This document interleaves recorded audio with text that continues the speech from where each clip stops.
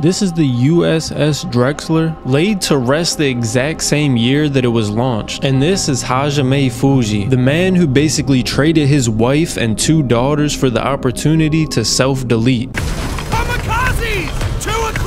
As late as 1938, the United States supplied Japan with a large majority of its iron, copper, and oil, but the US did have to cut the party a little bit short. I mean, Japan had been invading China since 1931. The United States wanted to stop Japan's military expansion, but also protect China's power and its authority. Considering that China and the US were on the same team, the US looked at that oil supply they were given to Japan and basically said, Turn it off.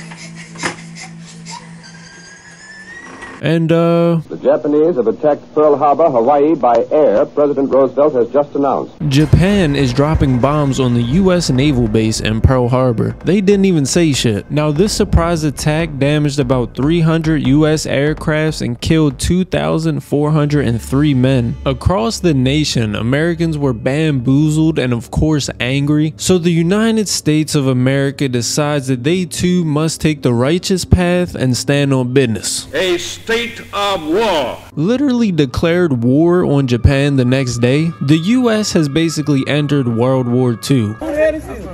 The truth is, though, Japan simply couldn't compete with America's industrial output. After a series of devastating defeats to the Allies, the Japanese couldn't produce enough ships and planes to replace those it was consistently losing. Even worse, the country was running out of experienced men. You're right. I haven't lost my virginity. Who the hell is supposed to fight the war if they're running out of people? Just hanging around. Well, since Japan don't have any experienced fighters, I guess we just won't fight. No, actually, just crash the planes into them instead. In desperation, the army created special attack force units called Tokutai or Shimbutai. These are literal suicide squads made up of the army and navy. Our friend Hajime Fujii, he wasn't going to just attempt to join these suicide squads. He actually taught entire classes of young people how to have the correct mentality when going into this. Not only did he want to join, but he got denied. He was told that because he was a family man and most of the people they sent on one-way missions were single, it's probably not a good idea for him to join. Now, Japan didn't enter World War II with any intention of creating kamikaze pilots and sending them on suicide missions, but Japan definitely expected a quick victory. You could see why they possibly just were not as prepared as they might have needed to be. Now, while Hajime does want to join this kamikaze attack force unit, his wife Fukuko also pleaded with him to stay out of the war. This guy has two daughters and a wife. You know, after all, what if he dies? What what is supposed to happen to them? What are they supposed to do? Hajime just could not get over this because as more and more of his students left on suicide missions never to return, he just couldn't shake off the idea that he was betraying his words. He felt like a hypocrite, you know, he's sending all of these children off to do something which he himself is not participating